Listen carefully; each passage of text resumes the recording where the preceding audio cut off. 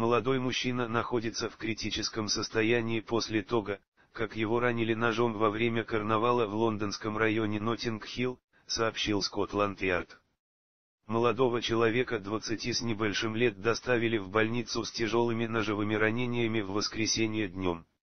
В связи с инцидентом по подозрению в нанесении тяжелых физических увечий полиция задержала трех 18-летних молодых людей, причем двое из них также подозреваются в ношении оружия, один, в том, что имел при себе наркотики. Всего в понедельник, основной день карнавала, были задержаны 88 человек, из них 23, за то, что имели при себе ножи, 31, за наркотики, 5, за нападение на полицейских, 1, по подозрению в правонарушении на сексуальной почве.